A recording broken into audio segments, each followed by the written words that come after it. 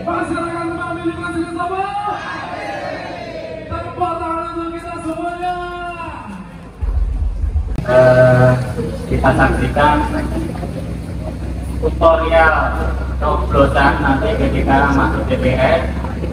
Jadi pertama tentu saja ucapkan Bismillahirrahmanirrahim.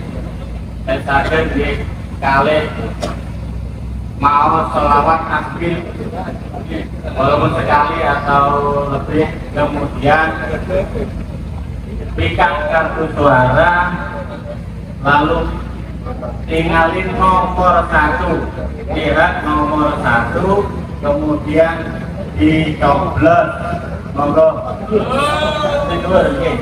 Nomor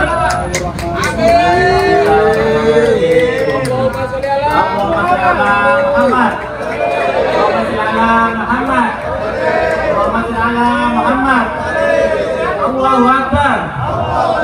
Allahu Akbar. Allahu Akbar.